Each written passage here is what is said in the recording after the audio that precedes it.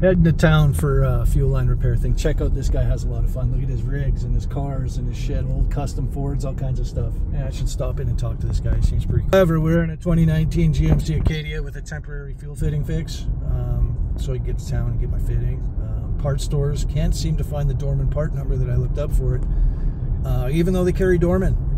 So something funny there, fucking Canada, you motherfuckers.